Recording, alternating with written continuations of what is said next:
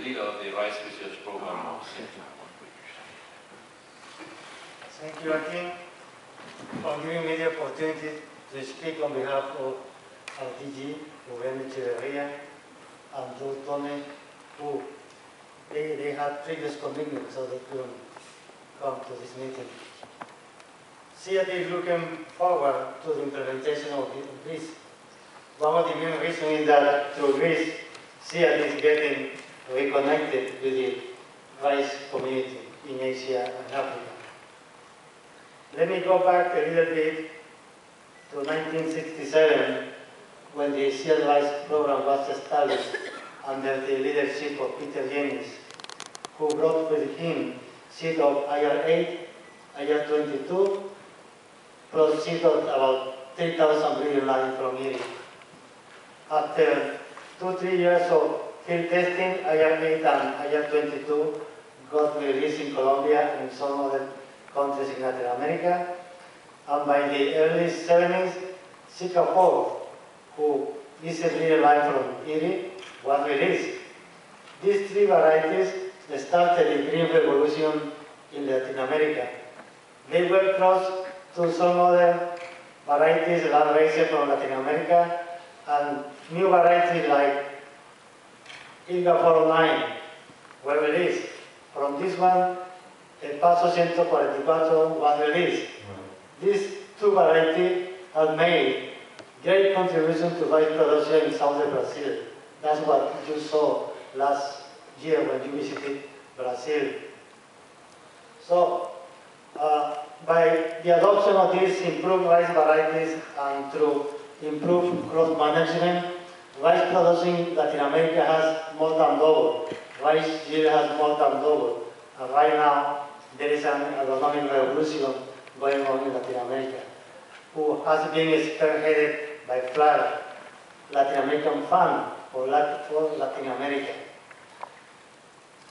So, unfortunately, in the 90s, CIAT went through a difficult period. The rice program got out of, I mean to say, it was also uh, reduced.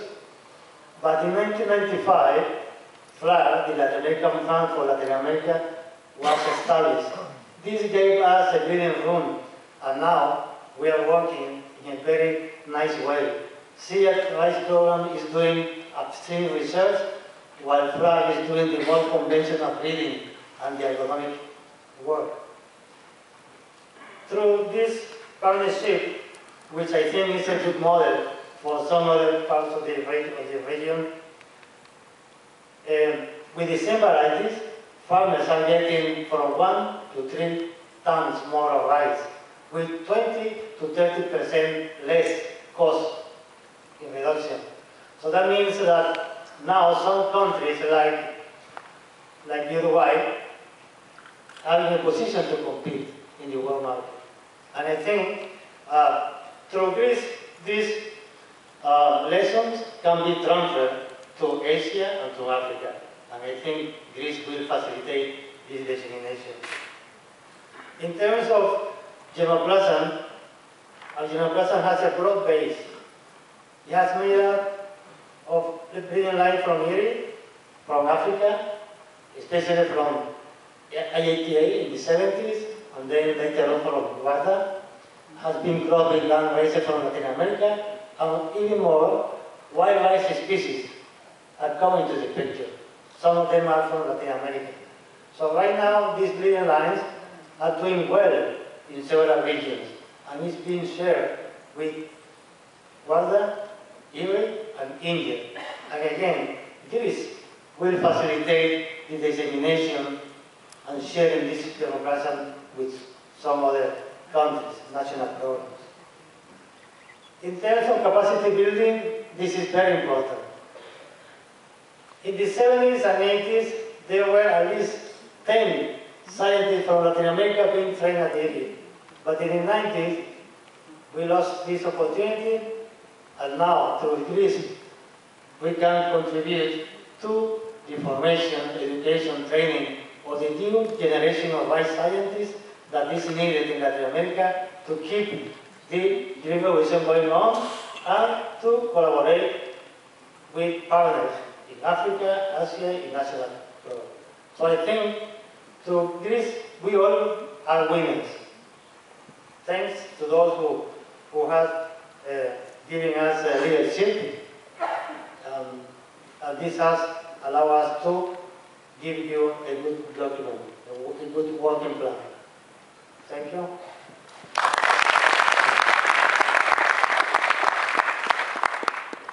Before we go to the last speaker, I wish to comment that uh, uh, the representative of JIRCAS in Japan, Dr. Nakatami, is uh, not attending the Rice Congress because uh, they have uh, important uh, planning uh, sessions in Japan. Uh, so but that's why he's not here. Uh, but uh, GRiSP uh, will also involve uh, some very strong collaboration with the Japanese uh, rice scientific sector.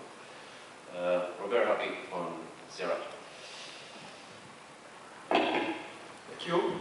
So I'm particularly honored to be here among the global community of rice research on behalf of Dr. Matheron, CIRAD's executive chairman, and Dr. Patrick Caron, DGD for Research and Strategy. As you probably know, uh, or not know, CIRAD is a French public institution for agricultural research in partnership with organizations and institutions in southern countries. CIRAD has also a long history on rice research. It's best known for its work on phenotyping and genotyping, as well as its integrative modeling from the wool plant to the rice field level, which corresponds to themes 1 and 2 of GRISP. These areas are also developed by French teams in the French FRIPS, it's echoed well, FRIPS initiatives that Alain Ghesquière, Alain, presented on behalf of two uh, organizations.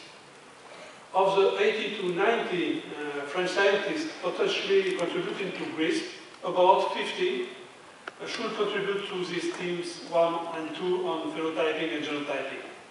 It means that uh, at least 30 to 40 French scientists, mostly from CIRAD in that case, are likely to contribute to the other topic, topics of GRISP. For example, we have identified more than 25, uh, 25 scientists who could contribute to the topic of product line, if I take the, the word in Greek, three, that is increasing productivity and sustainability of rice ecosystem.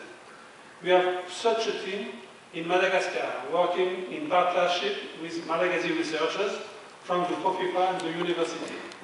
Uh, they developed their work on the rain-fed rice system in Ma- Madagascar uplands, and these researchers are developing a multidisciplinary approach combining plant pathology and entomology, plant nutrition, agronomy, integrative modeling, and CIRAD is really willing that this research can also serve the global community uh, made in GRiSP.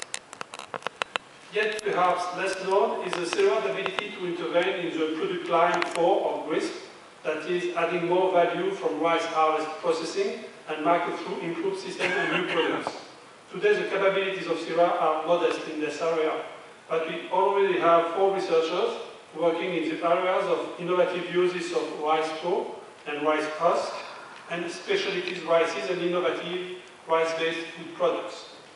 These are just avenues for collaboration, renewed and open to new opportunities for which the community of researchers from CIRAD is less known. Finally, let me conclude this brief statement by reaffirming on behalf of presidents of CIRAD and IRD that the French research community has combined its strengths with the will to support the development of the consortium research programs. Working on risk, robust principles regarding co-construction, co-investment and co-governance were identified and agreed upon among the partners to ensure transparency and efficiency in partnership. We strongly believe this opens promising avenues for new collaboration to contribute to the development of the CRPs to come. I would like to end this brief uh, intervention by uh, thanking uh, IRRI, and especially Vietnamese partner, and also Vietnamese partner, to have organized this beautiful event. Thank you very much.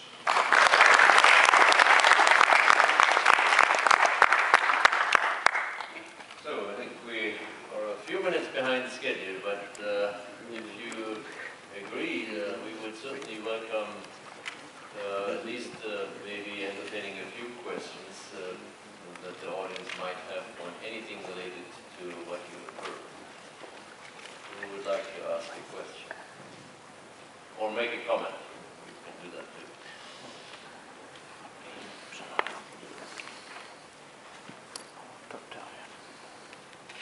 Looks like you've all had enough rice.